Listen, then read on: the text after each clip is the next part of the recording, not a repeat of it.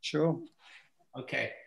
Um, hello, uh, good morning and good afternoon and good evening. As always, we welcome our friend and colleague from all over the world. I know our, our friend Yoshi is 11 p.m. still in his office with a beer. That's such a great time to enjoy the late evening talk. And uh, many of our friends from China and some from the US and Europe. And so Europe is Friday afternoon. I guess uh, nobody is everybody should be in the bar, but now it's uh, at home. Maybe drink a beer and wine, right? So, uh, but uh, today uh, we are so happy to get Professor Serge Berne uh, talk about uh, the Rhine River Delta system in the Mediterranean Sea, all the way from the shoreline to the deep sea. So this is the source to sink webinar series 32, 32. Uh, so this is also live streamed to the YouTube channel and recorded on the YouTube channel over there. so uh, um, Serge um, is a marine geologist, uh, is famous, we know, seismic stratigraphy and sedimentology. He worked from 1976 to 2008, I think almost uh, how many years? Gosh, oh, 40 years of, in IFREMER uh, French Marine Institute in Brest. And also, I have also personal interaction with uh, Professor Serge Berne, and we meet in early in 1996 when I was a graduate student in Hong Kong, and back 2003, he invited me to visit IFREMER about one month.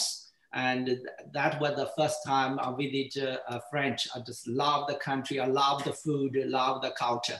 It's a great and so um, now he retired and uh, he, he moved to the uh, University of Perpignan in 2008 and had a professor position uh, after under 10 years. Now he's retired, but still participated research cruise and research project. And he has uh, working on the tidal dominant environment and the subaqueous uh, dunes standard view system around the Europe and Asia marginal sea. And so uh, also most recently, he shifted to study the, the uh, climate and the sea level change, the imprint on the stratigraphy, architecture second stratigraphy on the continental margin. And he was also, uh, said also was one of the coordinators of the Euro, Europe US, Euro US STRATAFORM project.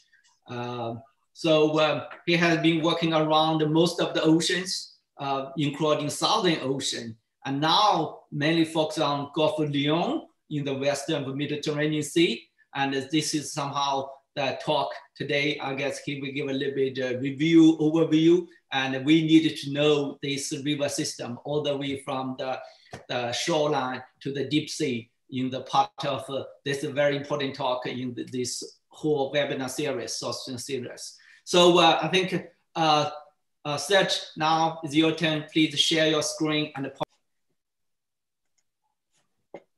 Okay. Ah, we made it. Yeah, now it looks very good.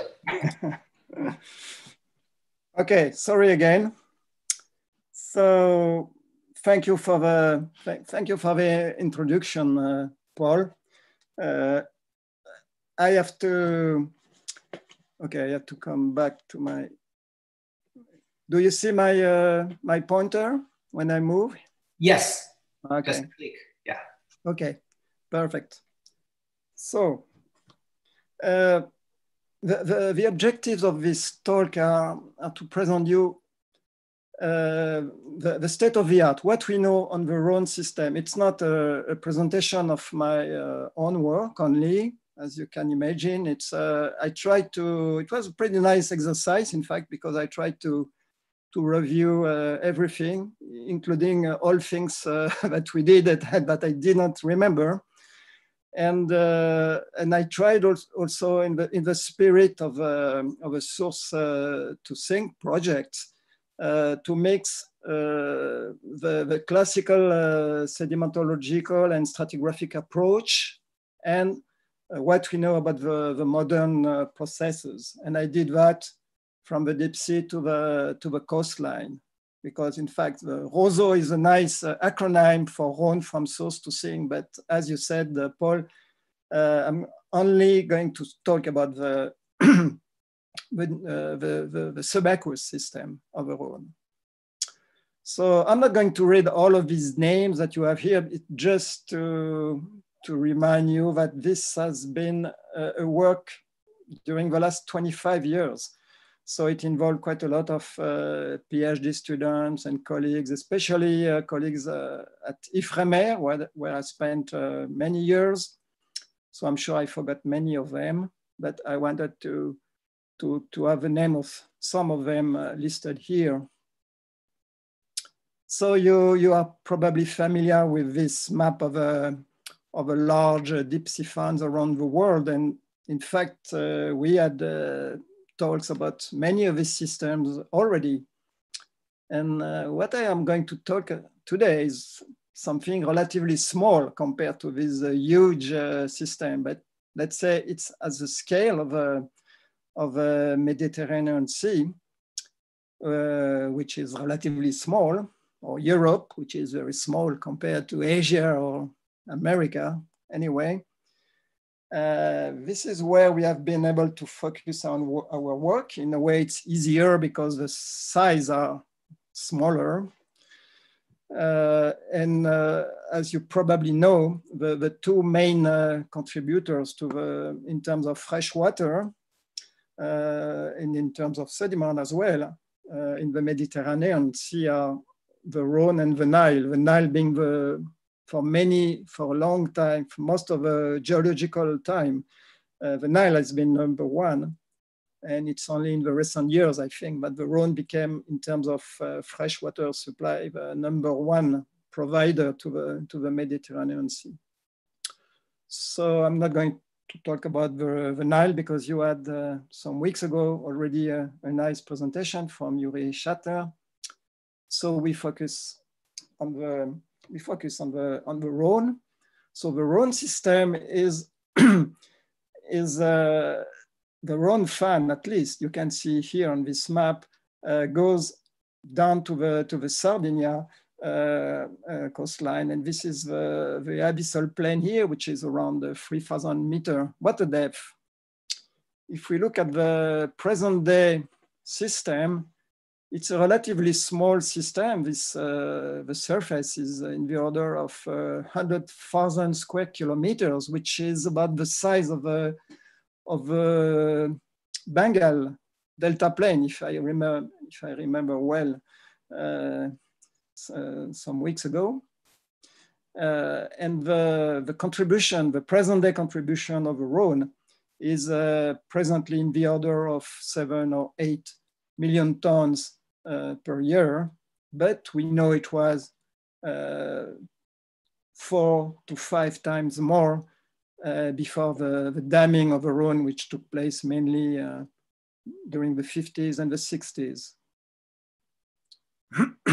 what you see here represent the, the glacial uh, coverage of the Alps uh, during the last glacial maximum uh, and the, the Rhone, the, the, characteristic of the Rhone is that it's, uh, it's uh, under the influence both of, uh, of uh, oceanic climate and also of uh, mountainous glaciers, which covered the Alps regularly during each of the glacial periods of at least of during the Quaternary.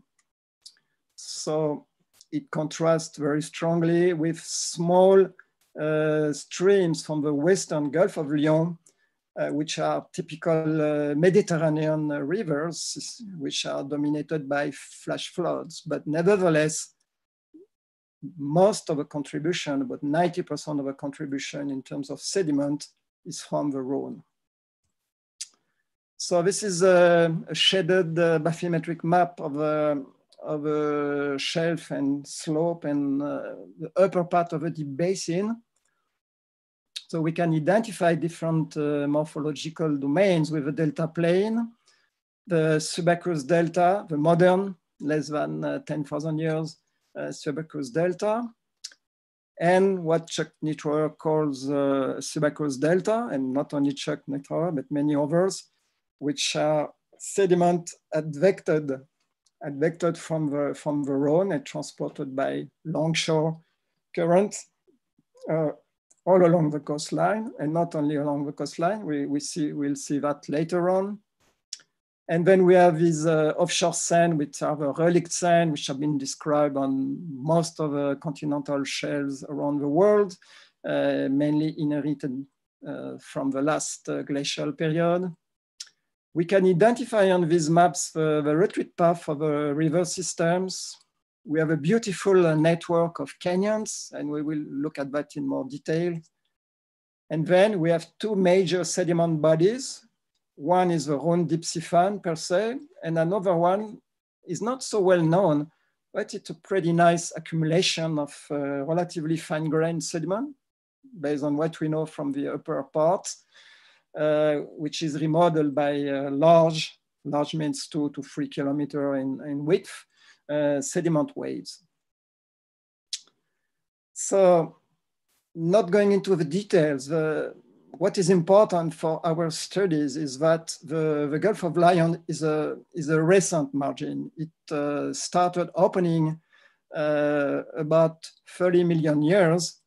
So the rifting and the, and the, the rotation of the Corsican Sardinia block took place between 30 and 20 million years ago, which means creating this, uh, this open space here uh, which means that this is a young margin uh, with pretty high um, subsidence rate, which implies a lot of accommodation for all of these uh, sediments from the Rhone uh, to be accommodated on the shelf and, uh, and on the margin. It contrasts strongly, for instance, with the Atlantic coast where the subsidence rate is much lower.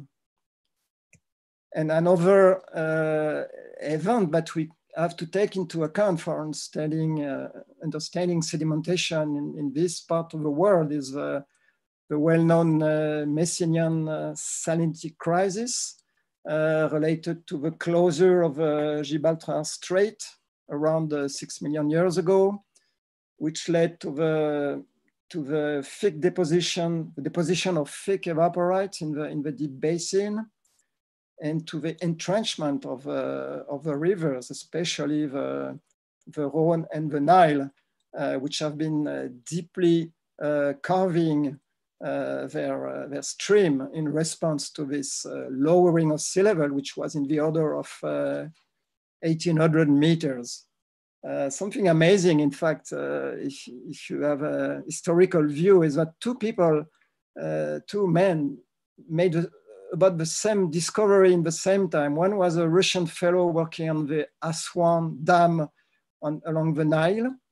And the other one was a, a uh, named uh, Georges Clauzon in France. And the two of them, they observed this very deeply incised valley, uh, very far upstream uh, in Aswan, in the case of Chumakov, and in Lyon, the city of Lyon, uh, which must be somewhere here on this uh, paleogeographic map. And these two guys came to the conclusion that uh, something happened during the Messinian and they explain, they were the first to explain, uh, the, to propose the, this uh, major drawdown of sea level, uh, which was very controversial at the time. And this was confirmed uh, later by the DSDP expedition with by Ken Hsu and uh, Bill Ryan and others. Well, that's a nice uh, story that I like to tell.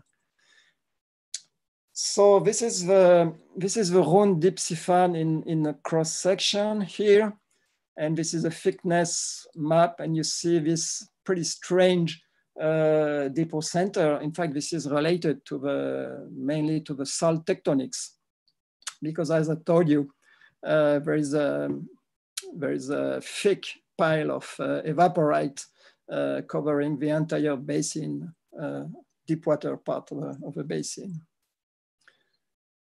and this will have an impact on the, on the morphologies that we are going to look, both the erosion surface on the shelves and uh, the salt tectonics in the deep basin. So if we have a quick look at the, at the physical processes, the, the modern processes, uh, it's quite uh, the same scenario as everywhere in the Mediterranean Sea with this uh, anti-clockwise uh, circulation, which is uh, typical, which is uh, pretty well described nowadays. with this stratification here, which is changing according to, to the seasons. And uh, this is, for instance, the Levantine intermediate water, which comes from the Eastern uh, Mediterranean Sea. We, we heard about this when we looked at the sediment waves along the, the Nile margin. Um, something important in that part of the Mediterranean Sea is here, where we have one of the main zone of deep water formations in the, in the in the Mediterranean Sea. And this is due to strong winds, which especially in the winter are favoring evaporation and formation of dense water, which is plunging approximately in this area of a deep uh, deep sea fan. And you have also processes along the margin, cascades uh, of cold water, which take place episodically uh, during the winter time if you look at the shelf, um, at the shelf uh, processes in particular, uh, it happened that uh, the Western Gulf of Lion here is the place where you have the most important, uh, the, the, strongest physical processes. Uh, and uh, especially if you see at the, let's say this, this could be considered as the outlet of a, of a, of a Gulf of Lion, you see the, a strong uh, amplification of uh, near bed current during winter, not, not, not necessarily winter, during southeast uh, storms, storms which are generated by southeast winds flowing in that direction from the, from the southeast. And it creates near the seafloor uh, an anti-clockwise circulation, which is at maximum here uh, at the outlet of the Gulf of Lions. And the other phenomenon is in winter, when you have uh, these uh, cascades uh, that I mentioned previously, in these cascades, they are particularly important also in the western part of the Gulf of Lion. You can see there is uh, cold in green water, which is episodically uh, plunging along the slope uh, during episodes of uh, strong northwest wind, wind blowing from the northwest. So even though the, the Gulf of Lion is viewed as a relatively low energy uh, shelf compared to tidal seas, for instance, there are some pretty active processes, especially in the western part of this, uh, of this area. So now look at the, look at the margin architecture now at different uh, geometrical and time scales. And this is based, what I'm going to show you very quickly is based on, uh, is based on uh, more than 20 years of uh, seismic data and core uh, coring operations and also uh, drilling operation during this European funded project called PROMESS some years ago. And to start with, this is a, a deep penetration seismic across, uh, across the shelf uh, along this, uh, this red line here, uh, where you can see the, the rifting, the formation of this uh, sedimentary basin, which are several kilometers thick. In fact, in fact, there was some uh, prospect for from the oil industry in, in the 70s, and this is why we have pretty nice seismic data in that area. And you can even, at the first look, uh, recognize this surface here, which is the erosion surface during the sea level drawdown of a, of a Messinian crisis. So let's have a look at a higher frequency, higher resolution scale here. And this is a conventional multi-channel seismic uh, acquired by the oil industry, by Total. And you can see this beautiful uh, clinoforms, uh, more than one kilometer uh, high. And uh, in detail, uh, they are remodeled by sediment waves. All of them are made of sediment waves climbing upward as observed on many other continental margins around the world. And what is interesting here, and this is the this is the, the Messinian erosion surface, as probably you, you figured out. And you can see, in fact, how a margin rebuilt after a major phase of erosion. And in fact, it took about 5 million years for the margin to, to rebuild after the erosion of, uh, of um, during the Messinian salinity crisis. And more precisely, uh, this is from a recent work by uh, uh, Rousseau. You can see isopach map here, where you can see the first phase of the Pliocene, which is called the Zanclean, uh, we, where you see that the depocenter are uh, located on the inner shelf of the, of the Gulf of Lion. This is the present day uh, shelf edge here. And you see that by the end of the, of the Pliocene, during the Pleistocene, uh, the, the margin reached more or less the present day position of this margin. And uh, let's go again into more details now at higher frequencies and higher time and space resolution. So this is multi-channel seismic uh, from the same area. This is not exactly the same profile, same position, but not very far. And we will focus on many slides on, on this area.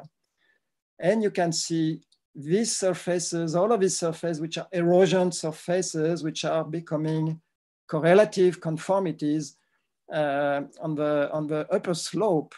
And this is where we did the, the deep uh, PROMESS borehole here, and we reach uh, stage, marine isotope stage uh, 13, which is uh, a bit more than 500,000 years uh, year BP before present.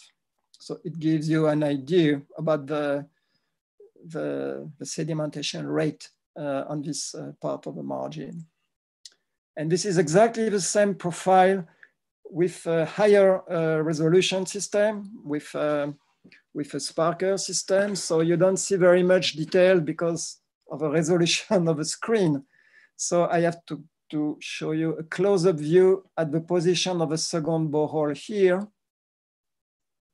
And you see on this, uh, on this slide, you see the, this beautiful clinoform, but we are looking at a different kind of clinoform. Now we are looking at clinoforms in the, in the order of 20 to 30 meters between four, five degrees uh, of slope. And they are made, we, we, we got pretty good recovery. We, we used the push sampling technology. So we got pretty good uh, recovery in this uh, difficult uh, sedimentary environment. And the upper 10, 20 meters are almost 100% made of sand. I, I chose a, a slide with some clay or silty layers because it's more beautiful, but in fact it's mainly clay, uh, mainly sand, sorry, uh, in the first uh, 15 upper meters. Then when you get lower, you see these beautiful uh, laminated beds, which are in fact alternating sands and, uh, and silty clay or clay silt. It looks like turbidites, or you could probably also call these uh, tempestites. And in fact, we are in the lower part of a shore face or, a, or prodeltaic system, uh, which is becoming uh, finer and finer when you, when you move seaward. So this is exactly what we will observe on the present day Rhône system uh, on cores. And then each of these uh, major erosion surfaces uh, that we have seen already uh, on, uh, on the seismic profiles. They are very heterogeneous. In fact, they are composite surfaces. They are both sequence boundaries and also maximum flooding surfaces. In fact, they are polygenic surfaces of erosion. and you find very heterogeneous, heterogeneous material, including uh, pebbles and, uh, and shells and many other things. And then at the very bottom of the borehole, we reach what uh, we consider as the actual incision uh, within a major canyon, which is now buried due to the progradation of a margin. And in this, uh, in this place, we found beautiful, uh, beautiful, I don't see, in fact, on my screen, I don't see the, this part of the screen. Uh, you can see beautiful cobbles, fluvial cobbles coming from the western, in fact, uh, the western part of the Gulf of Lions. Now, this is the ultimate uh, resolution that we, we may obtain so far. This is use, using a, a chirp system. Uh, this guy here, this is a beach rock, cemented sands. Uh, but what you can see is the upper part of these uh, clinoforms. There's not so much penetration in, in sand. You get better uh, penetration when you, when you move seaward and you are again in finer grained sediments. And uh, what is interesting is that you have plenty of these bed forms, which in fact are real bed forms. Uh, when you look at pretty high quality swath bathymetric data, you can see that in fact, here, here are again these uh, beach rocks here and there. And you can see that there is a, a hierarchy of, uh, of bed forms, which includes these elongated features that we interpret as transgressive sand ridge. When I say transgressive, I mean sand ridge that formed at the, during the early stage of a sea level rise, uh, right after the last glacial maximum. And on top of them, we find these dunes that you see very nicely here. We'll see them, in fact, in many other places. And these are bed forms which are in equilibrium in present day processes. And when I say present day processes, I don't mean average present day processes. I mean the storms, uh, the storm, the, north, the southeast winds generating this wind-driven circulation. And what you have here is the shear stress on the seafloor, which has been modeled. Uh, and where this is approximately the, the place uh, that I'm showing to you right now. And you see that there are some places here where this, uh, this, uh, this shear stress is increased. In fact, this is not the highest, I'm not talking about the coastal zone, I'm talking about zone which are about 90 to 100 meter water depth. And in fact, I don't have the time to show you that, but here we have beautiful migrating dunes up to 12 meter in height, and they are reversing their polarity like tidal dunes. They are not tidal dunes. it's another process I don't have time to speak about, but they are definitely active bed forms from uh, at the, let's say, uh, yearly scale, time scale. Okay, canyons. Uh, this is the same area again with these nicely uh, incised uh, features here, which represent in fact the imprint of a direct supply of uh, high density flows from rivers here and then, which are feeding directly the deep sea through these meandering uh, patterns here. And this is the approximate uh, boundary of the of a, of a shoreline during the last glacial maximum. The beauty of this, uh, this area is that from this borehole here, we have very precise time constraint. And when I say very precise, I mean at the resolution of uh, Greenland uh, suborbital uh, climate changes, which are the, the glacial, stadial, and interstadial. This work has been done especially by uh, uh, Paco Sierro from Salamanca, and it provides us, especially for the upper uh, part of the borehole, these are about uh, 70 or 70 meters here. So this is the upper part of a deep borehole. We have a fantastic uh, time resolution that we have been using to, to propagate our seismic interpretation to date what is happening into the canyon. And at the first look, you can see even better on the multi-channel uh, seismic compared to the chirp, that you have very pronounced uh, seismic reflection like this one, this one here, and this one. And you can see that they are related to the transition between these Heinrich events here and uh, the ensuing uh, warm interstadial. No time to go into the detail, but this is a fantastic uh, uh clue for having a chronostratigraphic correlation. And this allows us to date the, the last infill of, uh, of a Bourcart Canyon, the, this canyon I showed you previously. And when I say the infill, I'm talking about several hundred meters of uh, sediment infill. And what is quite uh, impressive is that you can see this red surface here, in fact, corresponds to the, to the marine isotope stage five. It's about 130,000 years before present. So all of this has been uh, deposited, in fact, mainly only since this, uh, this surface here, which is, uh, which is correlated to uh, Heinrich uh, Stadial uh, 4, which means about 40,000 years ago. So it allows us to evaluate the accumulation rate, which are just fantastic. And we have different ways to not only to date the, the, the onset of the canyon infill, but we have also ways to, to date the end of this infill, which is uh, in fact post-dated by these beach rocks that I showed you previously.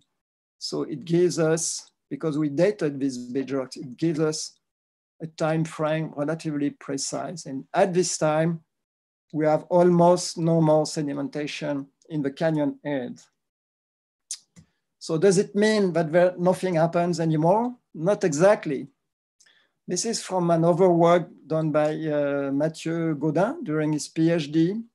And from this canyon head, always the same place, the same canyon head, we had plen plenty of cores, interface cores and uh, long piston cores. And we had also with our colleagues from uh, Barcelona, we had uh, a tripod measurement here, which gave us interesting information about what's presently happening in the, in the canyon head. And these are some of the cores. In fact, the, the one uh, shown in by big yellow circles. We had altogether more than 20 cores, but I showed you here only uh, uh, six of them. And you can see that we have quite a lot of sand. We have up to two meter of sand, sometimes directly outcropping, sometimes covered by fluid mud. And what is quite interesting is when you look at the grain size, you see that you have systematically a, bimodal uh, distribution, but the, the, the peak, the values of these two modes remains exactly the same. Oops. So it means that we have two populations of sediment. One are these uh, probably relic sand, which are uh, transported to the, to the upper slope, to the canyon head. And the other, we believe, are these uh, fluid muds that you find also on the shelf during fair weather. And uh, we are able to date or to have a, an idea at least of, the of the age of these uh, deposits. And it turns out that most of this is from a geological point of view, quite recent. And when I say quite recent, we have from cesium, uh, we have um, we have very, uh, I'm sorry, from uh, lead-210, we have, uh, we use, yeah, sorry, we used both cesium and excess uh, lead-210 to, to, to have an, an estimate of, of the age of this deposit.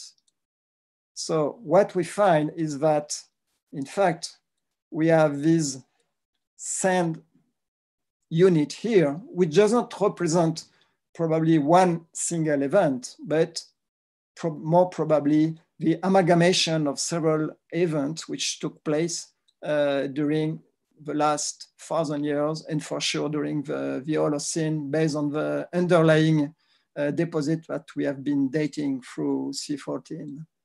So what kind of process can it be? In fact, this is again the cascades I was mentioning uh, that you see from the tripod measurement, you see during this period, which goes from uh, December to, to April, uh, you can see that there are several events, especially one here, where you see that the, the current direction is clearly along the axis of a, of a canyon and you can reach uh, current velocity in the order of 30 to 40 centimeter per second near the bed.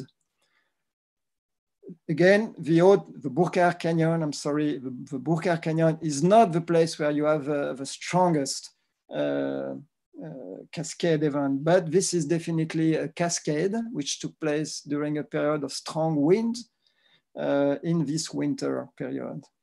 So we call these kind of deposit cascadites. And the idea is that these cascadites, they represent the amalgamation of sand, which is transported from the shelf edge, from the, the shore face uh, of the last glacial maximum into the canyon edge. How deep they go, I cannot answer right away, but they probably don't go very far in the deep sea. And part of them are uh, concentrating in the canyon heads. So now to finish, uh, I show you this, uh, I show you this uh, sink to source approach, but we, we can start from the deep basin and which is going to include quite a lot of uh, new results, uh, not only from, from my group of my, or my colleagues, but uh, it's time, I think, to, to have a synthesis about uh, the entire system. And in fact, again, this is the map of the Western Mediterranean Sea. And this is a table with uh, the major sediment bodies that we can identify for the last 20,000 years. I'm not going to go into the, the long history of the quaternary uh, Rhone deep sea fan, but we can start with the so-called megaturbidite. This is a huge sediment body, which was first uh, uh, described by uh, colleagues from uh, NOC in, in Britain.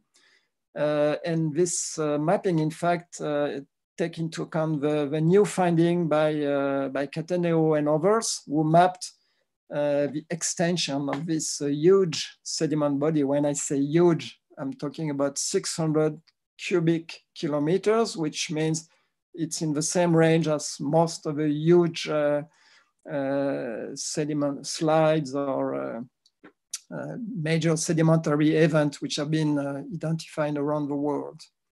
And this, uh, this unit, in fact, there are probably several turbidites. In fact, it's not one single event, but now it has been dated very precisely. In fact, there are more cores on the, that the one presented on this map based on the, on the recent work uh, of Cattaneo and others. And this is the age of this uh, megaturbidite with maybe a S, uh, which is around 22, uh, 22,000 years before present.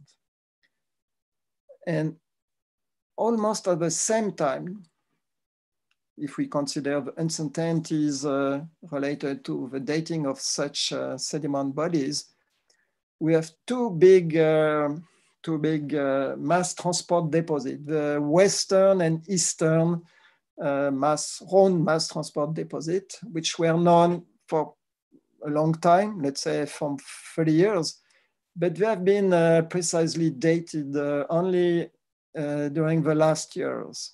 And it turns out that both are the same age, uh, around 21.5 years.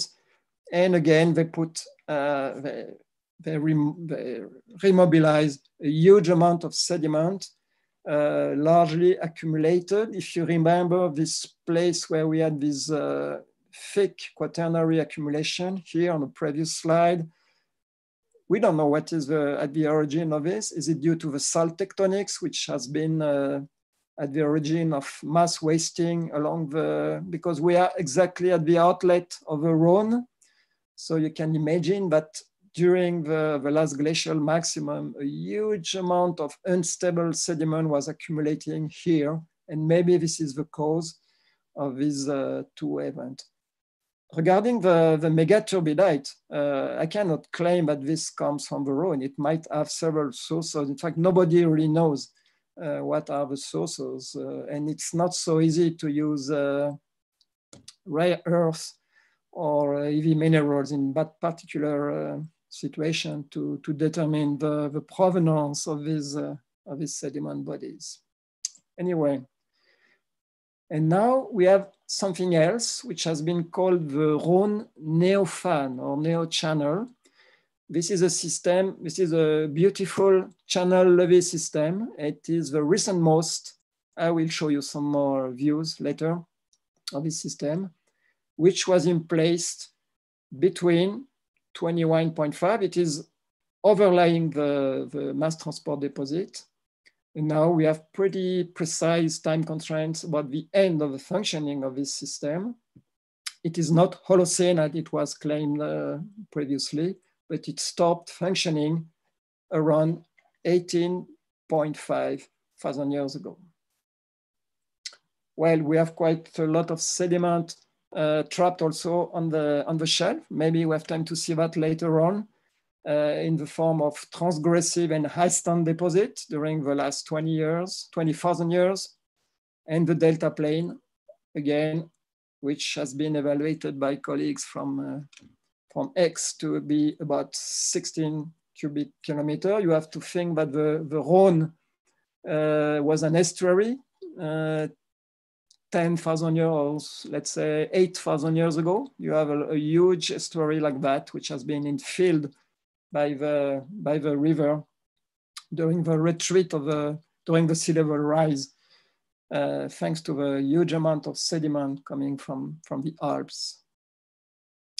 So to go again to the, to go back to the, to the deep sea, these are the two major uh, sediment bodies. I, I several times I mentioned the Rhone deep sea fan, but there's another uh, not so well-known uh, sediment body, which is the Pyreneo-Languedocian sedimentary ridge with uh, beautiful uh, sediment waves, something like three kilometers uh, spaced.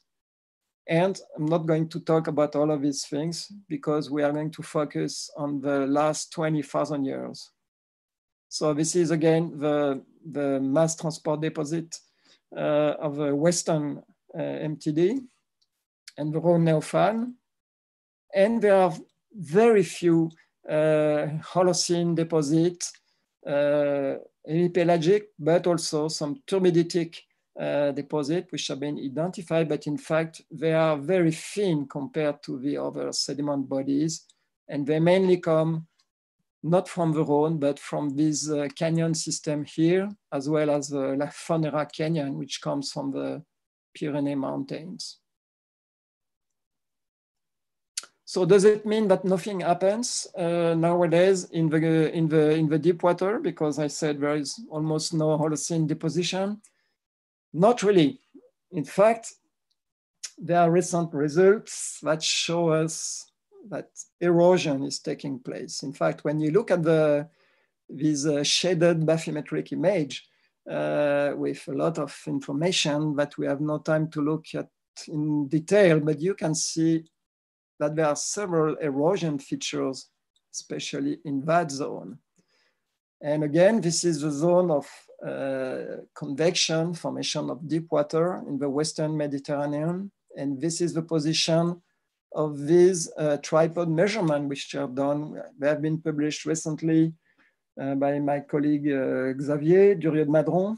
And what you can see here is that we have episodes of um, of uh, important uh, mixing and uh, dense water formation with current velocities in excess to 40 centimeter per second. So this is an active zone, but not so much preservation to be expected. So let's move a bit further landward to see what's, what's going on with sediments. So we can follow the track of, uh, of the active canyon, which in that system, which is the Petit Rhone uh, Canyon. And here you can see two seismic profiles here and there, and the position of cores uh, that were taken seven to eight meter long on terraces, which are located within the major canyon. It's a pretty complex uh, morphology, as you can see. So this, uh, these are the rims the, of the, the major rims of the canyon. And in fact, you have uh, uh a series of uh, terraces. So we chose uh, terraces in intermediate positions. So we may pick the relatively fine grain component of, uh, of a turbidite uh, traveling along the, along the, the canyon, the axial incision of the canyon, in order to, to, to, to have access to a relatively continuous uh, record. And this is a quite impressive uh, set of results uh, from uh, Lombo Tombo he was a, he was a, a PhD student working mainly with Bernard Dennielou at Ifremer. And uh, as you may, as you know, it's not so easy to, to date turbidites. It's quite challenging, in fact.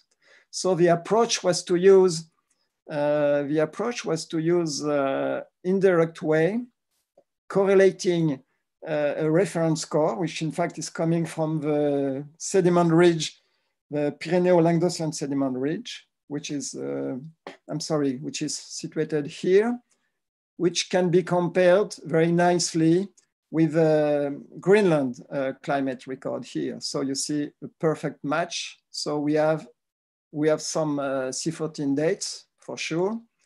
And this is the Pyreneo-Languedocian uh, ridge. And this is another ridge uh, from the Var, uh, situated uh, to the east of, of the Gulf of Lions, along the French Riviera, to be more precise. And you see that our uh, turbidity cores, the two cores I was presenting before, we can correlate them. We have some, but not so many uh, uh, C14 dates, but the shape can be confidently uh, correlated to these references here. So it allowed uh, to, to propose a chronology. What you see here is the number of turbiditic events along, uh, along these two cores, one and two. And what is interesting, and this has been uh, normalized by different methods, and what is interesting is to observe that the, the turbiditic activity again stops around 18.5 uh, thousand years ago.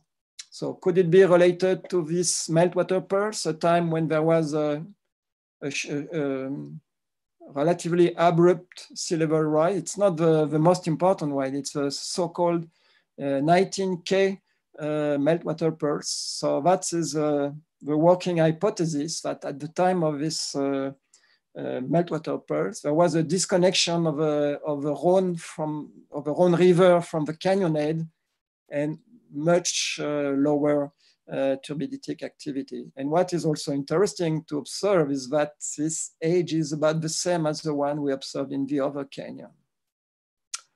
So no more, no more sediment in the canyon. So we have to move on the shelf. And this is a detailed map of a, of a continental shelf here. And um, with a very narrow spacing of a contour line, which explains some uh, artifacts like this uh, one here, but it gives you a quite beautiful view of a, of a morphology of a shelf. And if we start from the, the story, we, we, we stopped in the canyon head, we are now here on the, on the outer shelf where you can see some remains of shelf edge delta, but most of the sediment has been uh, swept away. So this is uh, in fact an erosion surface from the last glacial maximum. And then if you move landward, or I'm sorry, and you can see also early transgressive sand bodies. I mean sand shorelines or deltas which have been deposited during the early stages of, um, of a sea level rise. And then come a time of very rapid uh, very rapid level rise, uh, the well-known meltwater pulse 1A, uh, And during this time, there is no real time for building a, a deltaic system, but you can track very nicely here the retreat path of a, of a river, which in fact left a lot of sediment, especially coarse grained uh, sediment. All of these red uh, dots, I don't know if you can see them very well, they are, uh, most of them, very rich, with uh, dark acoustic facies, and we got uh, pebbles and cobbles at the bottom of the coral. So this is obviously the track of a retreat of, the, of a Rhone mouth uh, during this meltwater pulse 1A. And then comes a time of slowdown of sea level rise, known as the younger dryas, and it gives time to the Rhone, if I may say, to build a deltaic system and progradation is occurring. All of these things that you see here correspond to this younger dryas uh, system. In fact, it's a bit more complicated because if you look carefully, the age of this system is getting younger and younger when you move to the west. So the depth of this, uh, of this system here is around 60 meter. And here it's only 40 meters. So in fact, it's an oblique retreat of a, of a, of a Rhone system in relation with, uh, with a relatively slow uh, sea level rise that took place during this time interval. And then you get uh, several delta lobe like this one, which is, uh, in fact, I said, I used to say the Saint-Ferréol, but I'm not for sure anymore. Anyway, it's a, it's a delta lobe, which is no more active. We'll see that on the, on the next slide. And then the shifting of a, of a delta club. The end of the story is uh, strongly perturbed by the by the fact that uh, by anthropic uh, activity because the, the course of the river has been diverted. So the two last lobes are purely anthropic system. And if you look at the uh, cross section, uh, section across this uh, sedimentary system, there are many uh, nice sediment body that you can uh, identify, starting with this younger dryas, uh, huge accumulation. And what you see here, these are dunes, because in fact, all of this is made of sand. So everywhere where you have sand, you have dunes in this, in this area due to the relatively high energy. Uh, you can see many other things. You can see, for instance, that this, this law that I call Saint-Ferréol, in fact, is no more active. And you can see that it's now experiencing erosion. And at a very small scale, it's uh, something that has been described on the Yangtze uh, system, where the, the former Yangtze delta is uh, presently a source of sediment. And uh, again, these, uh, these uh, modern delta, which are obscured by the organic uh, matter and gas. So in summary, we have two different um, systems here. We have uh, this uh, deltaic system here in front of a, of a Rhone delta. And then to the, way, to the west, we have something different, as I said previously, which correspond to sediment advected uh, by the general circulation uh, and uh, feeding some kind of uh, subaqueous delta. So I show you quickly two cross sections here. Uh, this is uh, this is let's say the the Rhone the Rhone context where we have very thick up to 60 meter uh, inner shelf due to the accumulation of sediment directly provided by the Rhone. In fact, all of these muds here are not uh, recent muds. They are, well, they are not so old, but they are the muds uh, which were deposited during the, the sea level rise. And in fact, you can see very clearly that they are presently experiencing erosion. And then uh, there is no uh, sedimentation uh, deeper than something like uh, 80 meter water depth. And to the west, we have this, uh, this kind of uh, sigmoid uh, sediment body, as you, you have seen in many other uh, uh, presentation uh, in, the, in, the, in the Eocene, the East China Sea, in the Adriatic, etc. You see this, uh, the result of this longshore sediment transport, which has been presented by, by Paul and many others, uh, where you have this accumulation of transgressive and ice deposit, which are plastered along the along the, the coastline. In fact, it's like uh, it's a bit like a, a shallow water uh, contourite, and you see very clearly that there is no Holocene sedimentation, and even the transgressive deposit are only limited to some dunes, uh, sound waves that I, I showed uh, previously, but it's very minor compared to uh, to what uh, happened during the, the low stand. And uh, this is uh, this is another uh, section across this. Let's say let's call it a, shallow water contourite. This is a recent work with maybe the most beautiful uh, uh, age model I ever had on a core because uh, everything fits perfectly, which is not always the case, unfortunately. And you see that we have a perfect record from 10,000 to about zero. We had interface and piston cores at this site, in fact. And we have a full perfect record of the Holocene climate changes uh, during, the, let's say, the 10, 10 last thousand years, which is about uh, the Holocene. And in fact, this is one of the two best uh, climatic records. So on deltaic system, it's quite difficult to obtain uh, to obtain a continuous record. But in on this kind of uh, system, we have exactly the same. Uh, in fact, the same thing as you may find in some deep water uh, contour. Right? You have continuous, slower but continuous record uh, of uh, environmental changes and the rate of sedimentation in the order of one meter per thousand year is not as big as the one in Kenya, but not so bad. So finally, uh, the conclusion, I don't know if I have to read all of this, but uh, what I want to, to stress is that in fact, the key is not necessarily, the present is not necessarily the key to the, what did I say? the past is not the key to the present and the present is not the key to the past. This is what I want to say.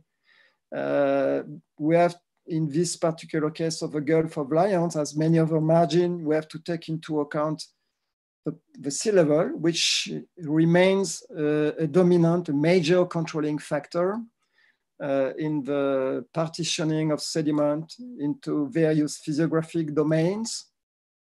As you have seen already, there is almost no net deposition on the outer shelf presently. If you see some recent papers where they provide you with, uh, I'm talking about the Gulf of Lion, they, they provide you with uh, uh, recent uh, accumulation rate. This is based on short cores, uh, on radionuclides, and I think it doesn't give any idea about the long-term uh, record. This is mainly temporary deposition, which is going to be reworked at the next uh, major storms. So the bypass to the deep sea uh, in the case of the Gulf of Lion is mainly occurring uh, in the western part of the Gulf of Lions, and it's a source of sediment for the deep sea, but relatively minor compared to what happened to, during the, the low stand at the time of direct connection. And in fact, what we find in the Gulf of Lyon is that the, the general concept of sequence stratigraphy worked very well. You know, uh, sequence stratigraphy has been such a, a, revolution for sedimentary geology that many people try to, to demonstrate that it didn't work. This is what happened with any uh, scientific finding. But personally, I think it works not so bad. And especially, uh, if you consider a recent paper, for instance, by Kovo, where they, they present the Rhone as a transgressive uh, system, it's totally wrong. The Rhone is not a transgressive system. Uh, the Rhone fan. The Rhone fan was built during phases of low sea level. And you see that as soon as you switch off the connection between the river and the canyon, uh, sediment supply is almost nothing. So again, a lot of sediment is supplied by advection to the deep sea only in the western part. So we have a very marked difference between present day situation and what happened during the lowstand. And this is my final conclusion. Thank you. Oh, Serge, thank you. Thank you very much to give us a, such a comprehensive review and about the, the, the works in Gulf of Lyon and particularly the, uh, the Rhine River developed sediment to, to the shelf, to the canyon, all the way from the stage five, stage three, particularly uh, since the last LGM, you know, how the sea level rise with the transgressive and all the way to high stand, the interaction and the sequence stratigraphy record. Very, very good. If you have any question, you can unmute yourself, you can ask. And so when we're waiting the audience to prepare their question, Serge, I have a question.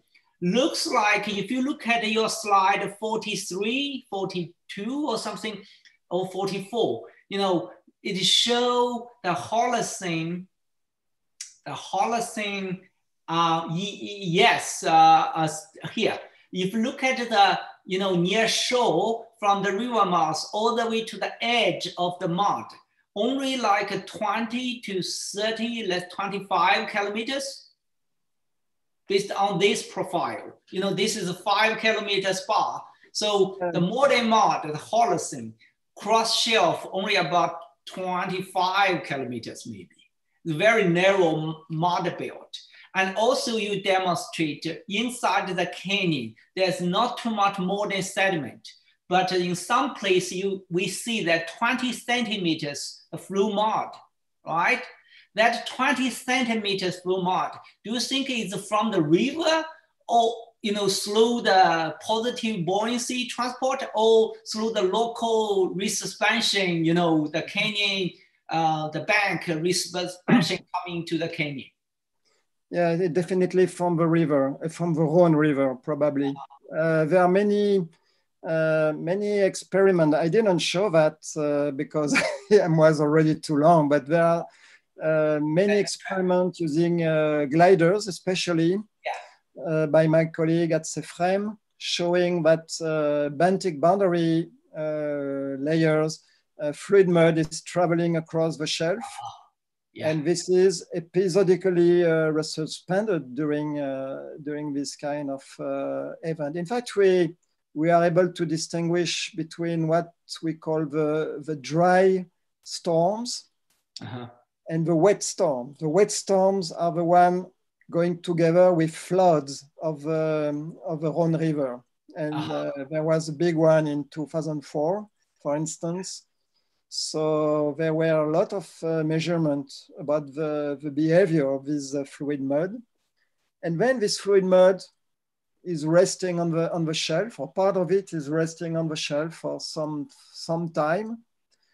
And then when you have this extreme event, it will be remobilized and transport the, which is in fact something uh, quite usual on many uh, continental margins around the world. But this has been precisely uh, monitored by uh, by my colleagues uh, at CEFREM. Yeah. Very, very good. You know, uh, look at thank you give us this uh, you know like all those profile and your interpretation make me rethink about what we have in the East China Sea, South China Sea of the Mekong, mm-hmm. even our recent work, as you know, in of the Irrawaddy. Some maybe we need to reinterpret. And I think yours is very good. And uh, actually, this profile, this record is kind of a typical record in a river dominated model. You know, it's just, a, just the same, you know, kind of record. That's, that's that's very good. Um, yes. Any any question from our, our audience? Please go ahead, unmute yourself and ask or type your question any anyway. Anybody? Yoshi. Yeah. Hi, Serge. Hi, Yoshi. How you going? Yeah, yeah thank you. So wonderful talk. So uh, I I enjoy so much. So I have two questions. The one is, uh, is any sedimentary strata onshore uh, MYS5. I'm sorry, what, uh, what, the, what's the end of your question? Why there is no what? Uh, is any uh, sedimentary strata onshore uh, MYS5 plus the integration marine sediments near the onshore? Um, you mean, are you talking about marine stage five? Yeah. Yeah, onshore. Yeah. Onshore. Uh, yeah. yeah. Would you like to start a, a cooperation on that? we have few uh, deposits uh, which were tentatively uh, assigned to stage five uh, 20 years ago in a time when uh, dating techniques were not so precise and not far from my, from my place, not far from Perpignan and uh, probably it might be the time to to go back because now uh, we have much better technologies for dating these uh, these uh, oolites because they are oolites. This is my colleague uh, Barusseau who worked on that, and uh, the, their elevation is uh, a few meters about. Uh, I don't want to say something wrong, but they are a few meters above present sea level. Yeah. Okay, and the uh, uh, second question is it looks like there are three depocenters. One is a delta near shore. Another one yes. is shelf, shelf margin deltas, the making the uh, shelf and the upper slope areas and yes. the deep part. How, how do you think the populations ratio of three parts? Looks like mostly uh, more than 90% of sediment deposit to deep sea part. Yes. Yeah. How do you think the three Yes, it's in fact, uh, yes, you're right. The most of the sediment in the Gulf of Lion and probably elsewhere, except maybe in the East China Sea, is going to the deep sea. And you're right, but the, the place where we have the highest uh, accumulation of sediment, I have this isopach map, but I cannot show you them right now uh, the, the, it's quite easy to explain that we have pretty good uh, preservation at the shelf edge. This is a place on the margin where we have the highest uh, accommodation. We have subsidence rate, maybe I said, I don't know. It's in the order of 240 meter per million year, which is quite a lot. And this is why you have, in fact, if you look at these uh, surfaces, they are tilting they're, they're tilting and this is the place where you have the best accommodation. And in fact, the, the, it's, it is changing from the west to the east. And this place here is the place where we have the highest subsidence and the best uh, preservation, but definitely the, the highest uh, uh, accumulation at the scale of a quaternary is in the deep water. Mm. Yeah. Mm. Okay, thank you very much. Yeah. Mm. Anybody else? Cool. Yeah, I would like, uh, yeah, thank you, uh, Sergio, thank very, you. very uh, nice talker and very in, informative uh, lecture. Yeah, you have very high resolution seismic profile data and very nice interpretation you mentioned uh, the first question, you mentioned there's two depositional center before the Pleistocene, and one located in the inner shelf, and another move to the, the later Pliocene, move to shelf margin. What kind of mechanism, uh, what kind of mechanism control this depositional center, uh, uh, uh, filter? Okay, uh, this yeah, is the, is it the slide one. you are you are referring to, Daido? Yes. So yeah. what kind of mechanism control this kind of uh, movement, filter from the inner shelf to the outer shelf? Yes, this is this is the you are talking about the Pliocene, correct? Yes, yes. Yeah, yeah. In fact, this is, I think it's a beautiful illustration. Thanks to the Messinian uh, salinity crisis, we can, uh, we can understand how a margin is, uh, is rebuilt and how much time it takes for a margin to rebuild. So in fact, if you go into the detail, this, what you see here, is first it, you are infilling the, all the erosion, uh, erosion, uh, erosional features created by the, during the Messinian crisis. And then you have a progression. I could have calculated, in fact, it, the problem is that the time constraints are not so, are not so good, you know. Even this, uh, this surface here uh, is uh, quite approximate, but we could evaluate the, the migration rate of a, of a shelf edge, you know, of the offlap break, if you prefer. Uh, and so this is the fact that the, the, the, depocenter is migrating to the, to the east. It's simply a, a beautiful illustration of a, of a concept of accommodation. Uh, in fact, the margin uh, at the beginning of the Pliocene was pretty strange because you had you had some kind of shelf here, and then you have the shelf break. In fact, was situated uh, just right southeast of this line here, like that. Unfortunately, the, the lines uh, stop here, but you have to imagine a, a stepped continental margin. And what you see here is the reconstruction of this margin, which took about three, four million years, up to five, we may say. And, and this is why I think you have not so much uh, Pliocene sediment on the Rhone deep sea fan, in fact, because uh, at that time, most of the sediment was trapped in the Rhone uh, Valley and on the, on the former shelf in the Gulf of Lions. It's only around the Quaternary that the, that the, the, the, system was able to, to connect to the deep sea through a, a well, well-formed uh, canyon system. Yeah, uh, thanks. And the second question, uh, how about the quaternary? Yeah, you have very detailed uh, interpretation of uh, quaternary uh, uh, sequence, uh, uh, yeah, sequence uh, uh, strata. And how about the dating methodology just based on the oxygen isotope curve? No, no, we had a real uh, complete, uh, let me see if, uh, yeah. Okay, I just want to find, oops, okay. I'm going to show you one of the many slides I didn't show. In fact, we had, a, we had a full set of proxies uh, on, the, on the deep borehole. If I may find the, the good slide. And this include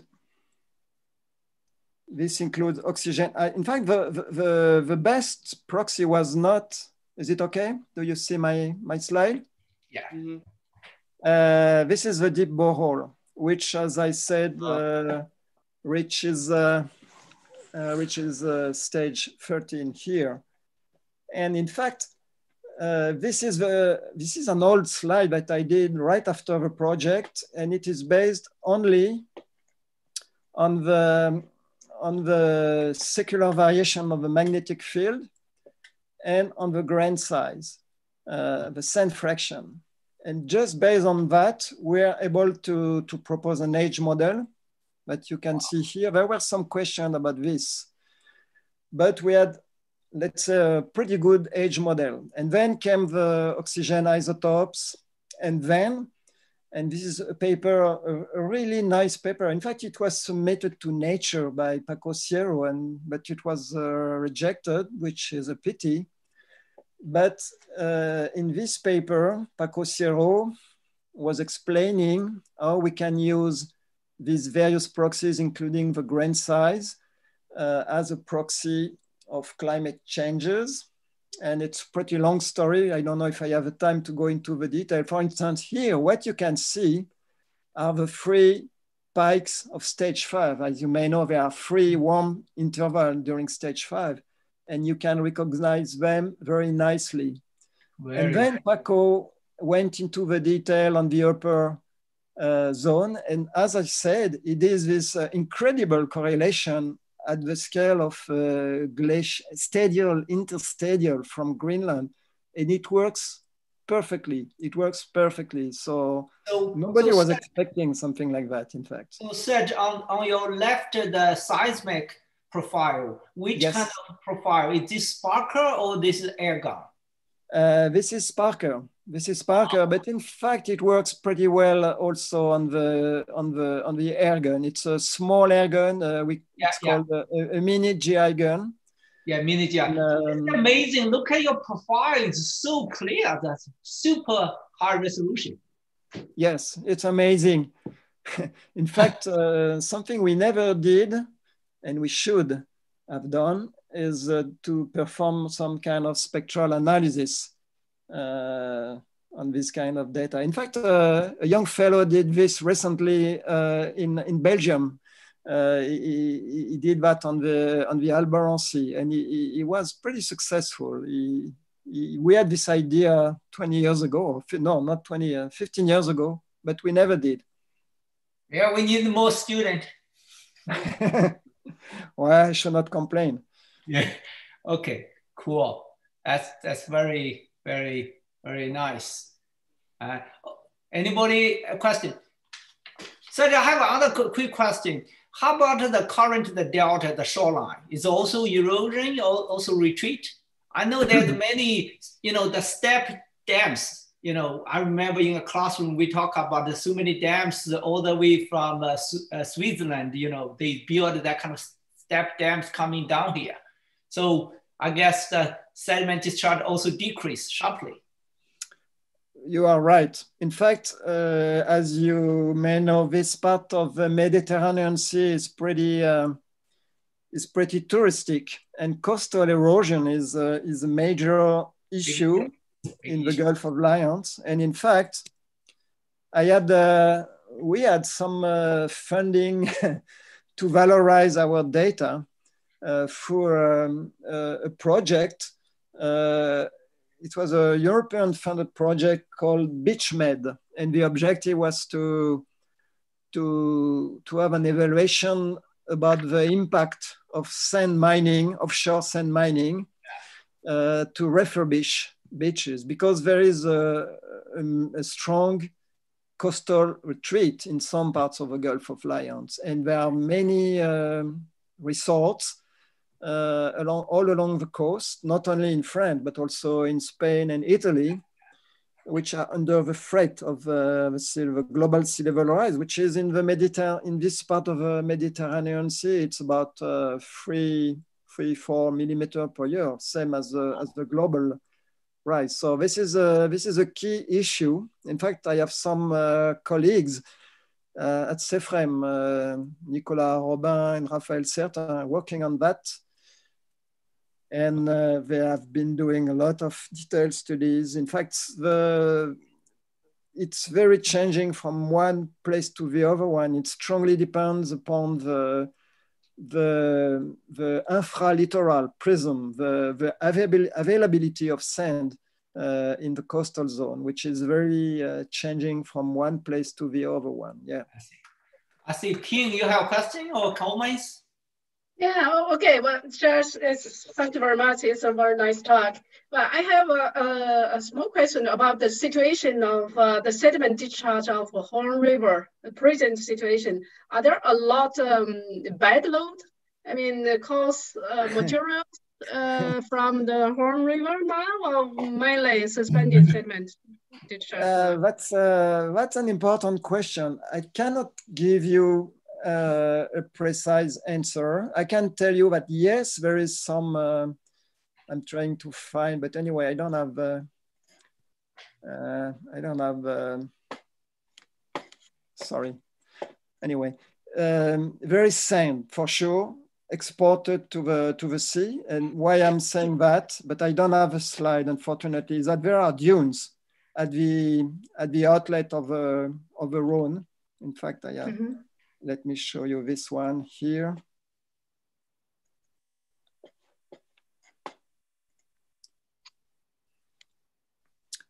Uh, this is the this is a map that we did some years ago, so it has been changing. This is the active uh, deltaic system. It is called Roustan. It it is about 100 year old. And we surveyed with my IFREMER colleagues and uh, Claude Vella at uh, we surveyed this. Uh, this is quite dangerous here because it's a very shallow water area. But all of this part here has been surveyed and it's filled with uh, dunes, sand waves. So oh. obviously there is a sand uh, export.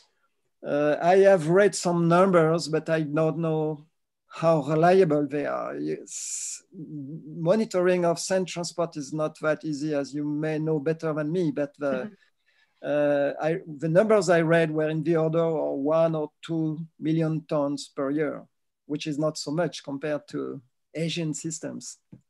Hmm. Okay. Yeah. Okay. Thank you.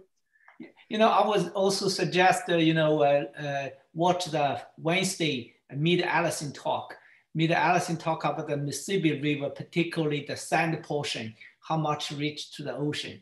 I think his study is, uh, is good for us to reference.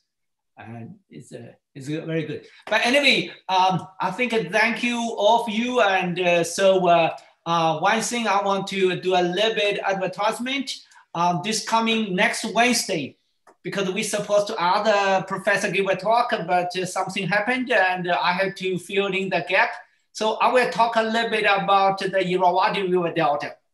And, uh, and also um, Friday, next Friday, we have a talk and uh, uh, he will talk about the coastal marshland and the delta with the impact of accelerated sea level rise. I think very interesting talk. So uh, mark your calendar and come back next uh, next week. So other than that, I think thank you so much. Thank you, Yoshi, already after the midnight, and thank you staying with us every time. And thank you for our Chinese colleague already 11:30. And so, uh, so uh, I'll see you next week. Okay, Serge, okay. thank you very much, Serge. Yeah, thank you, thank Serge. You. Thank you, Serge. Yeah. Thank you, everybody. Possible, Serge, yeah, you can share the, some part uh, of your PowerPoint so I can, you know, share with the, the student and colleague. Okay. Sure. Wonderful.